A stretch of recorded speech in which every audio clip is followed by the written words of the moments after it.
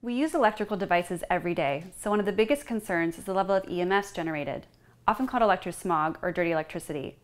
EMFs are all around us, not just in the microwave or the fridge, but also near light switches or power outlets. It isn't easy to measure EMF correctly due to the interference from common electrical fields around your home and sometimes even your own body. To measure, you can use a cheap $20 device or an expensive $300 device. We're going to demonstrate it with both. Using the inexpensive device, Let's test a HealthyLine mat for EMF in the area where you would lie down.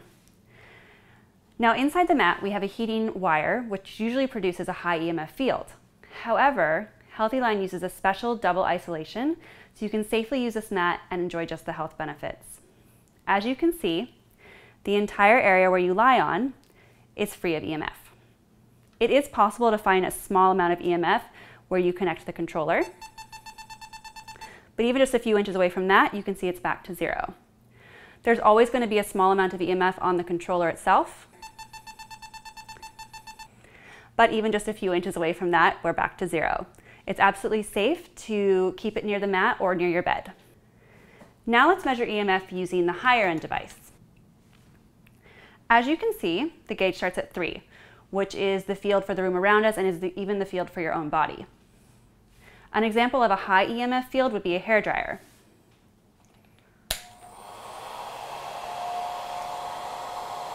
Now as you can see, the reading for that was nearly off the charts. So now let's test it on the mat. As you can see, the gauge is at 3, so there's no EMF coming off of the mat itself. Let's bring it to where you connect the controller. We have a reading of about 15, and if you take it just an inch or two away, we're back to three. And back to the controller itself. This has a reading of about 15 again, and just an inch or two away, we're back to three. So now we're going to test the EMF that you might find on a common electric blanket that you can get at a big box store or a pharmacy. So using the same device, we're gonna hold it over the blanket and turn it on. And as you can see, the EMF is already going crazy.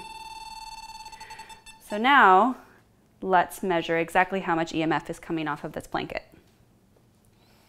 So we're gonna hold it over and it's coming in at 30. And if you remember, the Healthy Line mat has a reading of three, which is the same as the room and your body. So essentially it's at zero, which is a big difference.